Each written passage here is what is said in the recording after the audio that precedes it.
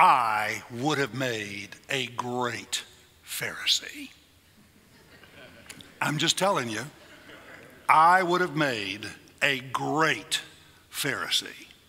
I was born and raised in a very devout Christian home.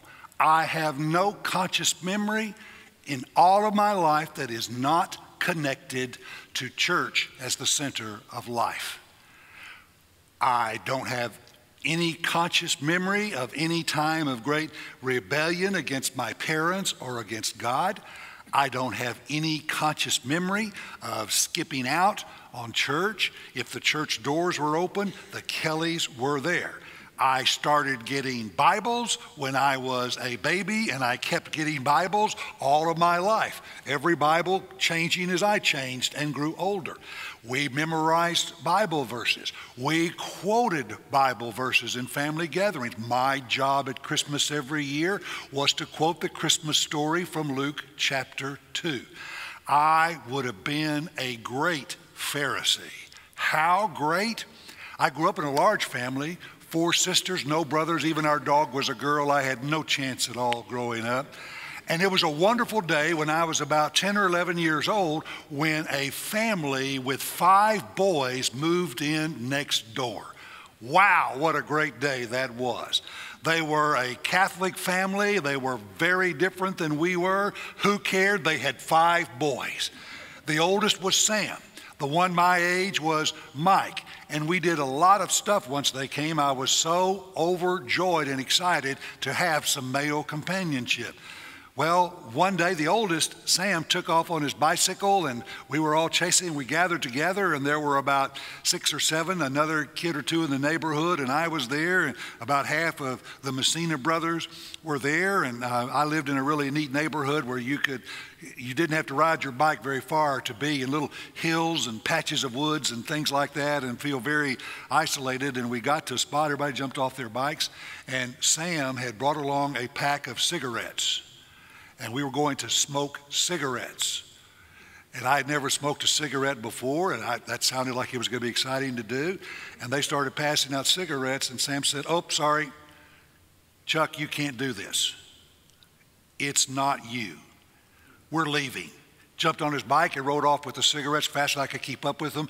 Even the lost people around me were protecting me from doing bad things. I would have been, yes, Russell. All right. Let's all head to one of two places men's room, ladies' room right back here. If not there, the hallway right behind the chapel also has no glass or windows. One of those two places as quickly as you can, please. We will give you an all clear. Thank you. All right, we're good to go. Now, uh, so far today, number one, we've discovered chapel is not always boring. Do I have an amen for that? Uh, also, the second thing that we've discovered is that Dr. Jonathan Key doesn't really pay attention in chapel. Uh, he, he told me while we were back there in the hall waiting, he said, Well, so far the main thing I have uh, from chapel is that you said you were a Pharisee. I said, No, no. You weren't listening. I said, I would have made a good Pharisee. Now, what that has taught me is that whenever I'm reading the New Testament and I'm in a scene in the life of Jesus and there are Pharisees in that scene, I need to really pay attention because I'm more like them than anybody else in that scene. I, am more like them than Jesus, certainly. I'm more like them even than the disciples. I, I, am usually more like a Pharisee than anybody else in the scene. And so I get to Luke chapter 15, and we have this amazing chapter of the Bible. I think it would be on any Bible student's list of great Bible chapters. And it opens by saying, Now all the tax gatherers and sinners were gathering near Jesus to listen to him. And the Pharisees, that would be me, and the scribes, began to grumble, saying, This man receives sinners, and he even eats with them.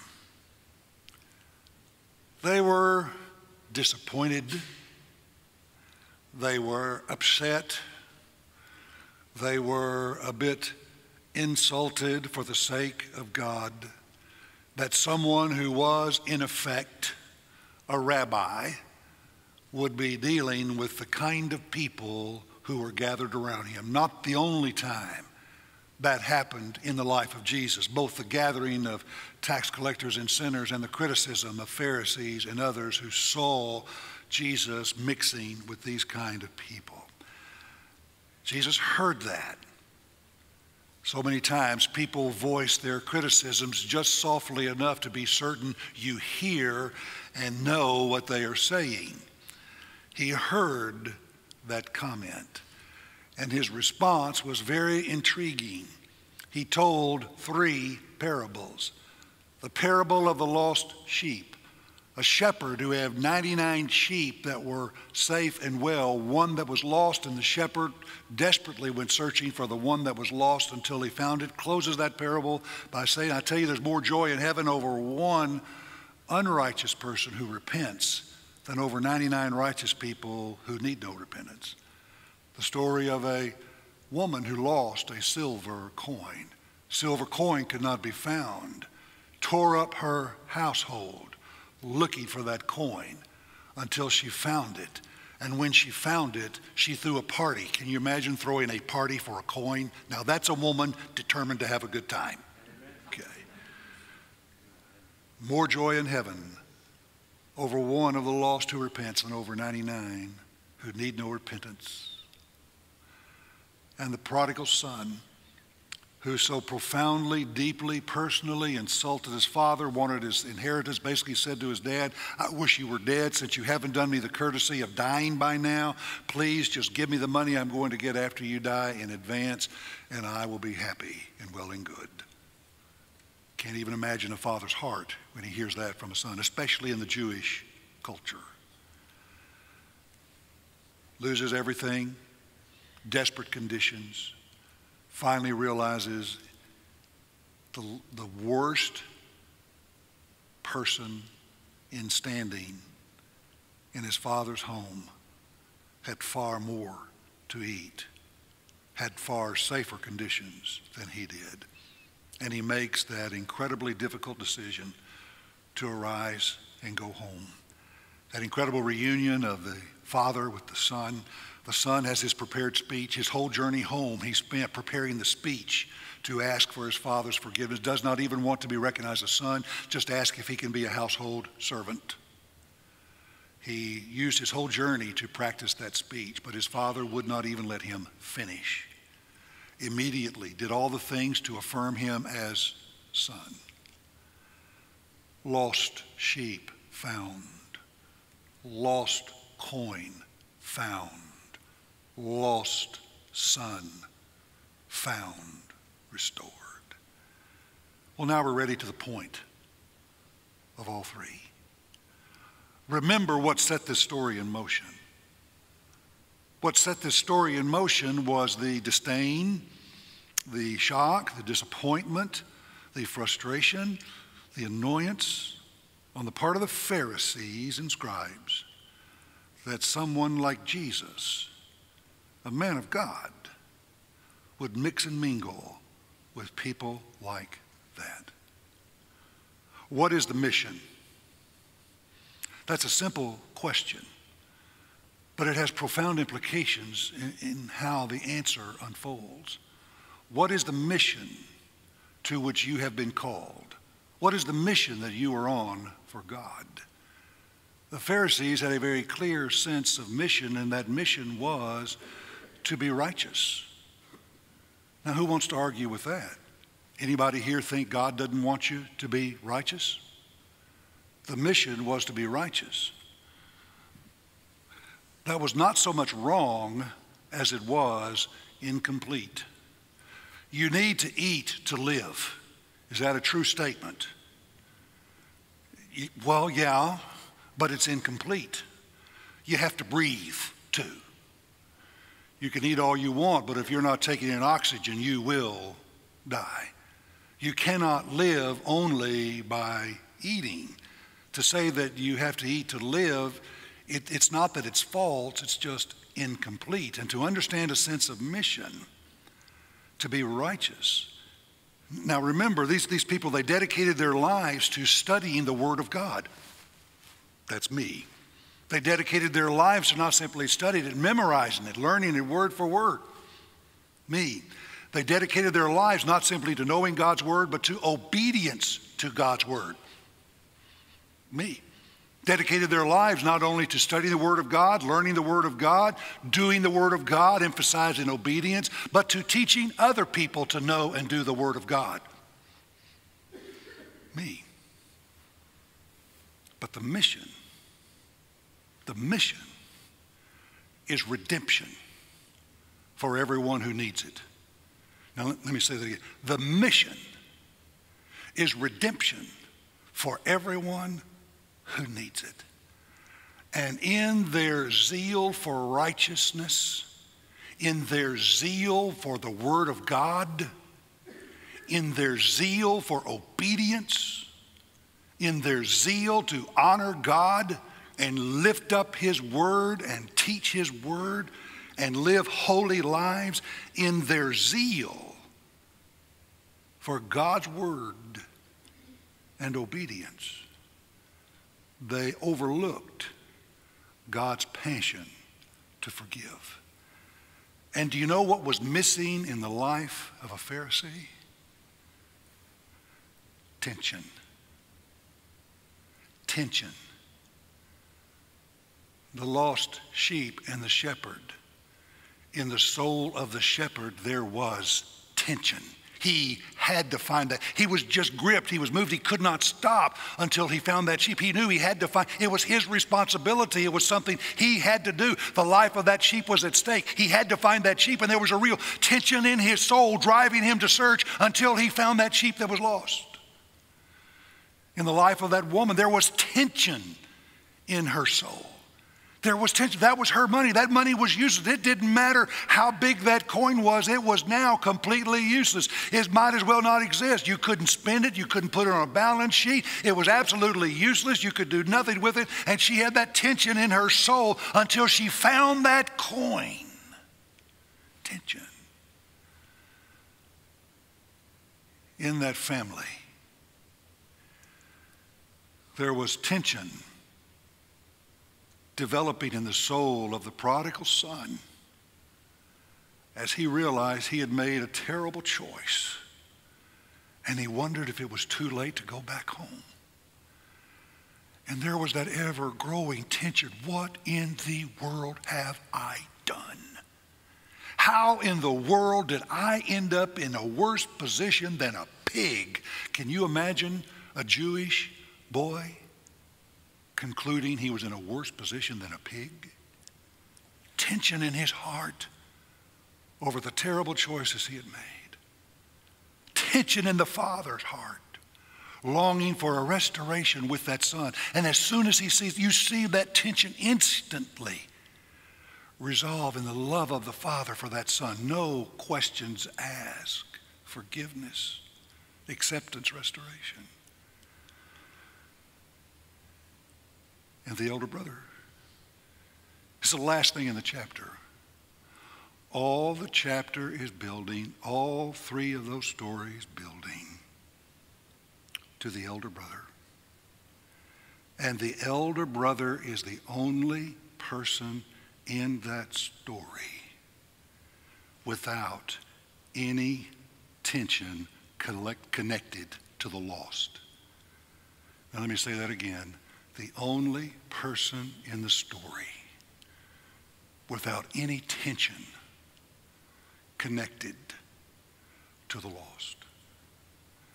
He came in from the field, saw the gathering feast, found out it was because his brother had come home, and absolutely no sense of joy or satisfaction. You know, right away, there was never a thought in that brother's mind to go looking for his brother who ran away from home to find him. Never thought about that. Didn't care if he was alive or dead. No tension whatsoever. And he could not understand the Father's heart because there was no longing, no tension in his soul for redemption to happen. Oh boy. This is not good.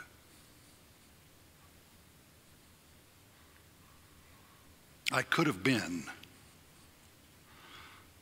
a really good Pharisee and given my life to the work of God. But if I forget the mission is redemption of everyone who needs it, I miss everything. Friends, Romans countrymen, lend me your ears. Let me bury an idea and not praise it. We cannot be healthy as the people of God. We cannot be healthy as a church of the Lord Jesus if there is not a tension in our souls driving us to seek those who are lost and bring them home, to seek those who are outside the kingdom and bring them back for restoration with the Father. And today, the greatest problem we have in Southern Baptist life, with a 16 year plunge in our baptisms, every year lower than the year before, is that we're getting perfectly happy doing church if we can just do music that we like and not kill each other over the songs we sing. We consider that a great victory and a happy church.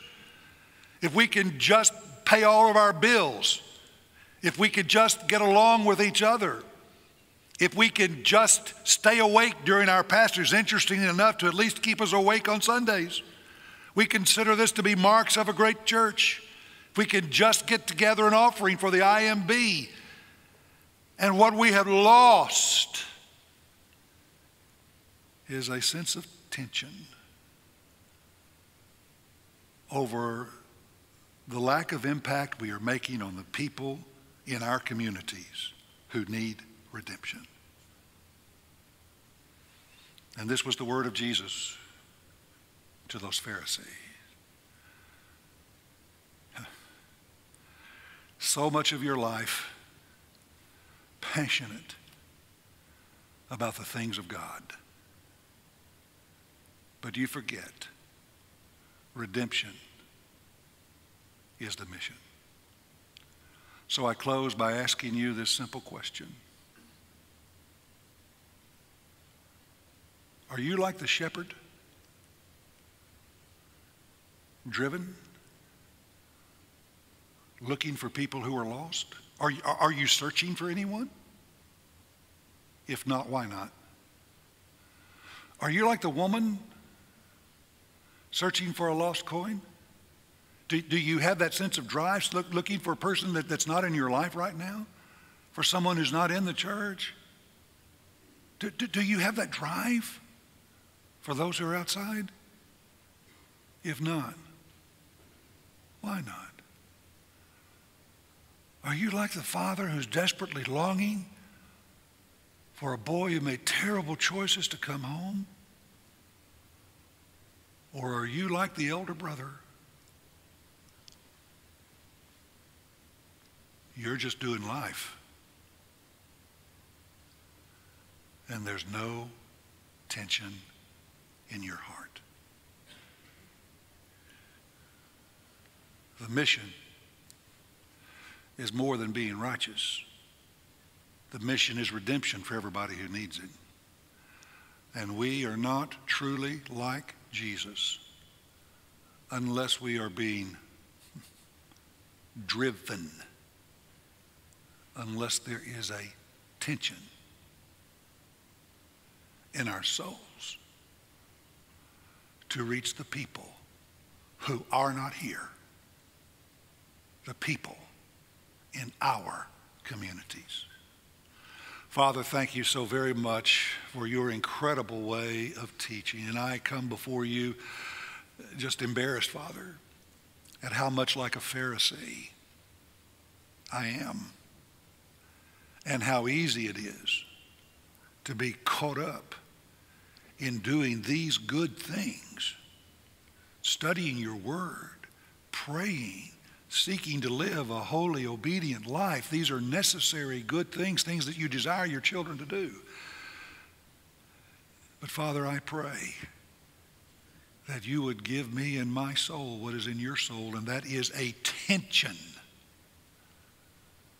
longing for those who are not here to be found, for those who have made bad choices to be restored, a tension for redemption of all the people around me. In the precious name of Jesus,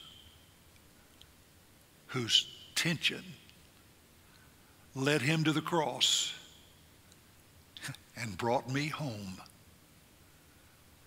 In his name, I pray. And in his name, I ask you to help me look more like him. In Jesus' name, amen and amen. And thank you for being a part of our most unusual chapel service ever. God bless you.